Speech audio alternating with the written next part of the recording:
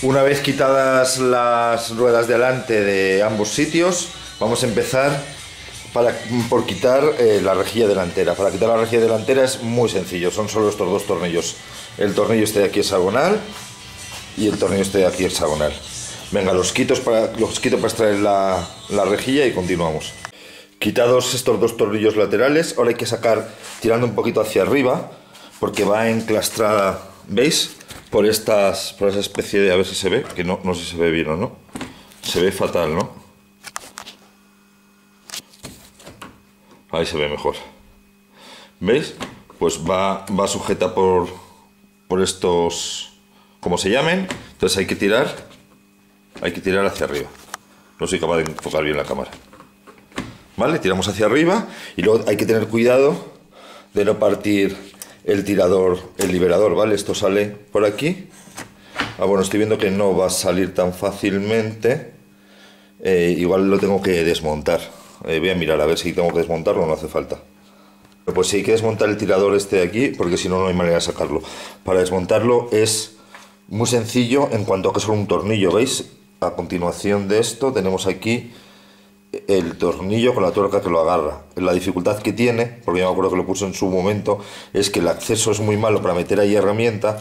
Se puede meter por aquí y cuesta un poquito de trabajo, tanto apretar como desapretar, pero nada más, un poquito de, habilidad y de paciencia. Voy a desmontarlo y continuamos.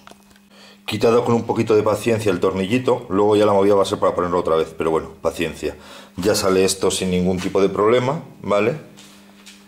Y ahora ya sí que podemos tirar libremente sin problemas hacia arriba para ¿veis cómo va saliendo? Ya solo me queda este de aquí, el corte y listo, sin que se rompan. Y este sería el frente.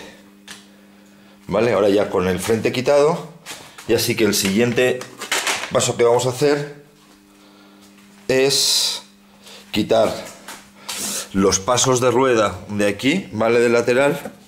Hay que aflojarlo para quitar los tornillos laterales que enganchan por los laterales el parachoques delantero. Así que vamos a ver eh, donde tenemos... Vale, aquí hay... Uy, es que no se ve nada. Voy a ver si voy a por una lucecita para que se pueda ver mejor. Claro, los tornillos que hay que quitar son este de aquí, este de aquí y ese de ahí bueno, y habría que quitar estos de aquí, pero que yo no los tengo. De tal manera que con esto liberamos la parte delantera del paso de rueda y ya podemos acceder a los, a los tornillos que hay aquí en el, en el parachoques. ¿Vale? Voy a quitarlos y continuamos. Fijaros, ya con el paso de rueda desmontado al nivel que os he dicho, ya se tiene pleno acceso tanto aquí al depósito del, del, agua del limpia parabrisas, que aquí es donde yo tengo el conflicto. Aquí esta es la bomba y tengo que repasar el circuito porque por aquí me pierde. Entonces no sé si es porque no he metido bien la bomba, que creo que sí está bien metida, o porque estoy viendo que aquí uno de los macarrones no encaja bien y está partido y habría que cambiar el macarrón entero. Bueno, lo que íbamos, para quitar el parachoques, en este caso solo tendría que quitar, a ver, que se vea, ese tornillo de ahí, que es el de arriba del todo, que sujeta el parachoques por aquí arriba para liberarlo de los carriles y empujar en este lado hacia adelante. Así que lo voy a, eh, lo voy a aflojar. Ya al quitar el tornillo que os he dicho, esto ya está libre y se desplaza hacia adelante. Voy a hacer lo mismo con el del lado derecho. Una vez hecho esto también en el lado derecho, nuestro izquierdo visto desde la cámara, eh, ya lo único que nos queda para quitar el, para choques delantero es aflojar estos cuatro tornillos de aquí del frente, ¿vale? Los aflojamos y ya tiene que salir por completo el parachoques delantero. Bueno, como veis ya he quitado los cuatro tornillos y ahora nada, con una mano, como estoy muy poco pesado, ya sale solo. ¿Veis? Sale sin ningún problema. Nada más que nos queda para poderlo retirar del coche. ¿Vale? Ya lo he bajado abajo eh, quitar los dos conectores de los antiniebla que vienen aquí. Este de aquí, ¿vale? Y el del lado homólogo. Ese de ahí.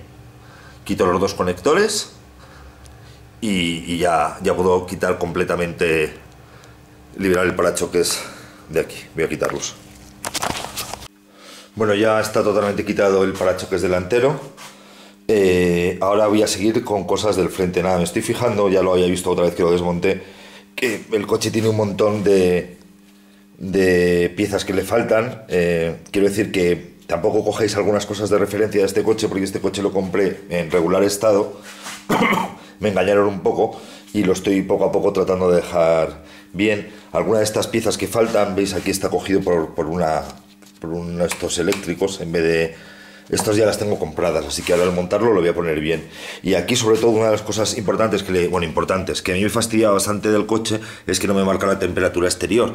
Yo le cambié el sensor este, que ya está cambiado, es nuevo, aquí le faltan algunas sujeciones, pero también las he comprado, las voy a poner y me he dado cuenta que lo que le pasa simplemente es que esto no está conectado y creo, lo voy a averiguar bien, que la clema es esta de aquí que está sin conectar. Entonces voy a ver si encuentro la otra parte y a ver si por fin ya también funciona. Pero bueno, a lo que íbamos a quitar el frente. Para quitar más cosas del frente, lo siguiente que vamos a quitar es este elemento de aquí. Y para quitar este elemento de aquí tenemos que quitar esta tuerca, esta tuerca y esa tuerca. ¿Vale? Y con eso lo quitamos. Quitado los tres de arriba, nos queda quitar los dos de cada lateral. Este de aquí y el del lateral de allá.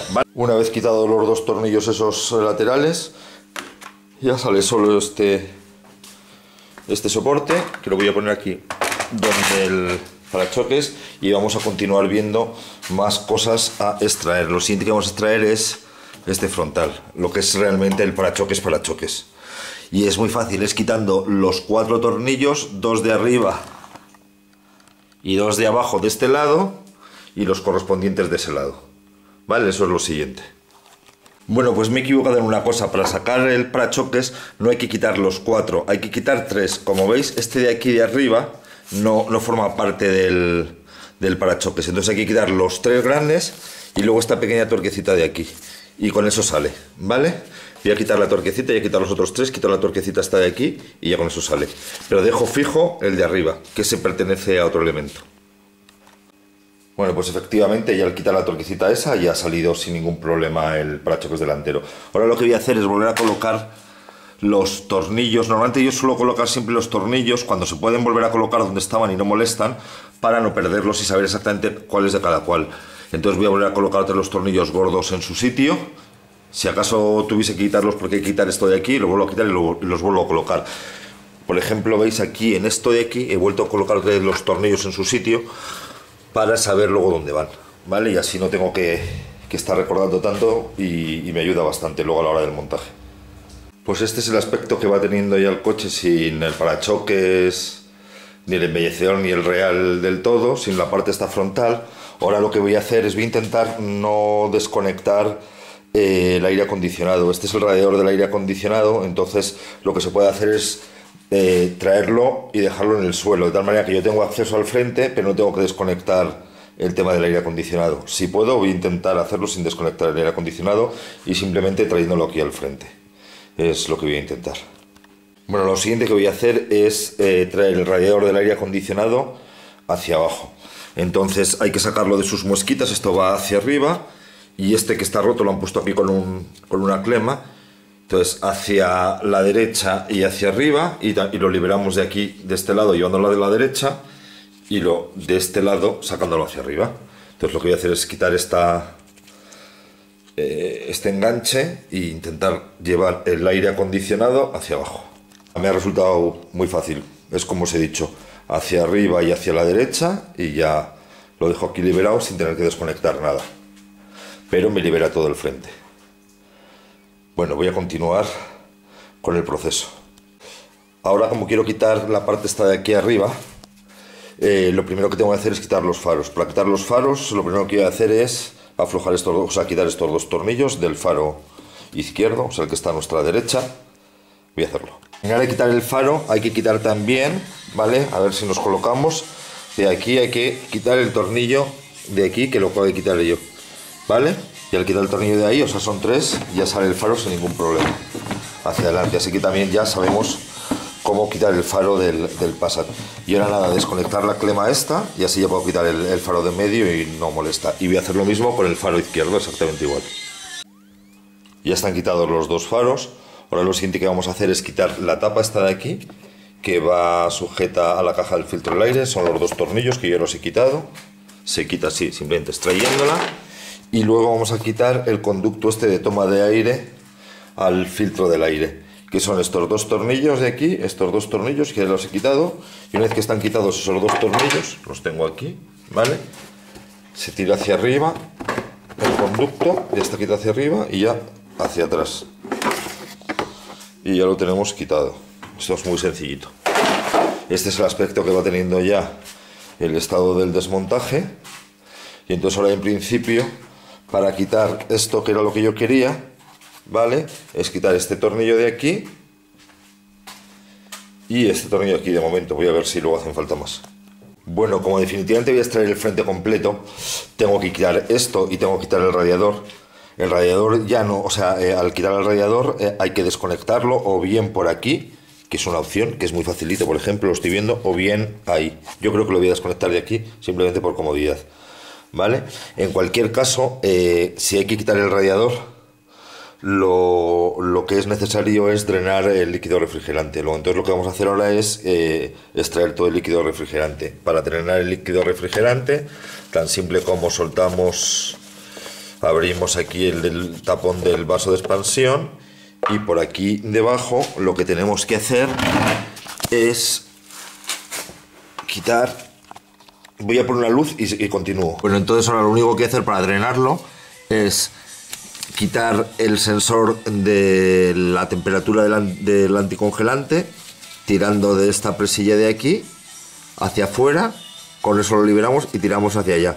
Y con eso drenamos todo el, líquido refrigerante.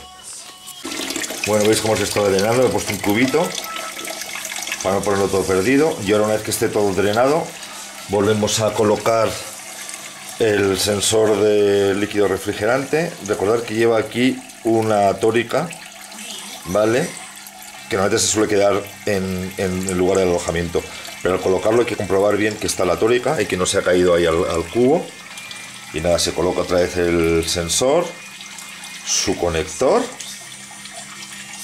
vale y se fija con, la anillita esta y así ya no tenemos líquido refrigerante pero ya está todo conectado para cuando tengamos que ponerlo eh, que no se nos caiga otra vez por el agujerillo bueno una vez quitados los dos tornillos de aquí arriba lo siguiente que toca es quitar los laterales. Hay que quitar este de aquí y este de aquí y en el otro lateral, a ver qué es lo que nos encontramos en el otro lateral.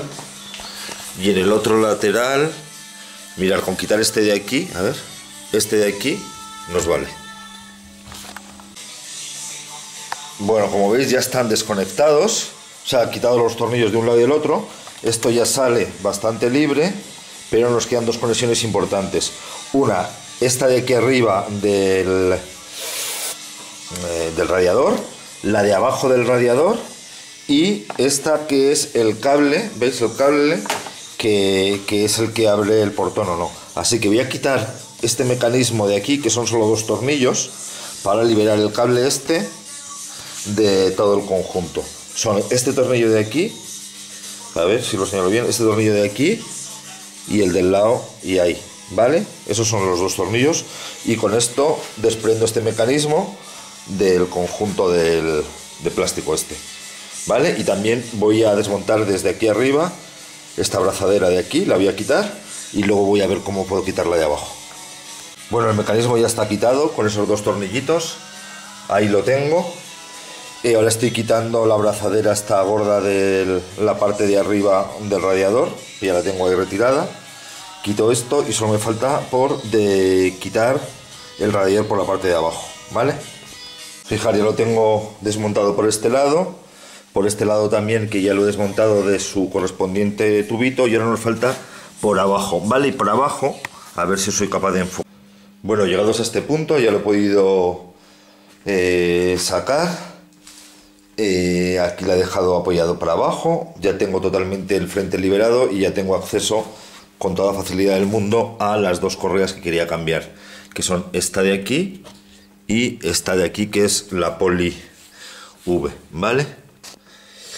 eh, alguna de las dos está mal porque era la que sonaba. Y ya también llegados a este punto voy a quitar la carcasa del, de la correa de la distribución para poder verificar, se quita quitando estas dos chapitas de aquí, ¿vale?